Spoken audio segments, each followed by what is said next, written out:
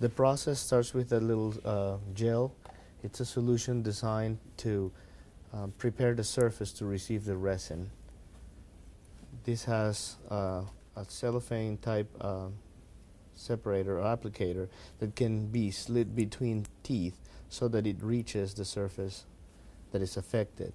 Then, extruding this, we can get the gel to go in between teeth and it'll only go to the tooth affected. And after two minutes of application, we'll remove this and rinse it really, really well. After rinsing, we would use a solution that contains alcohol that helps dry the surface really, really well. Once it's super dry, then the system will be able to accept the resin very, very nicely. Then here we can start drying the alcohol and that will keep the surface very, very dry and very receptive to our system.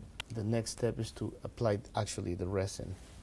And it comes in the same type of system that we had, a little applicator that can go in between teeth. So we'll slide it in and squeeze the resin out. And after the three minutes, we'll remove this and light cure it. And once it's dry, we are able to apply this light to set it and make it uh, hard.